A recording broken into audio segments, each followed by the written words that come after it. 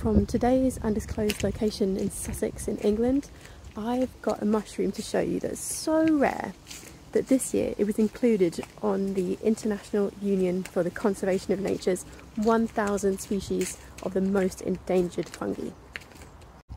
And here she is, meet the pink or the ballerina waxcap. Don't ask me to pronounce the Latin name, it's too long. It's very easily recognisable from this very sharply conical cap which opens up and splits apart as it matures. And the gills underneath, if we could see them, they're also the same lovely blush pink as the cap in colour, and the stem turns sort of white towards the base. Wax caps like this one grow in fields and pastures, but they don't like their habitat being disturbed by things like livestock or spraying, so as you can imagine, their habitat is severely under threat.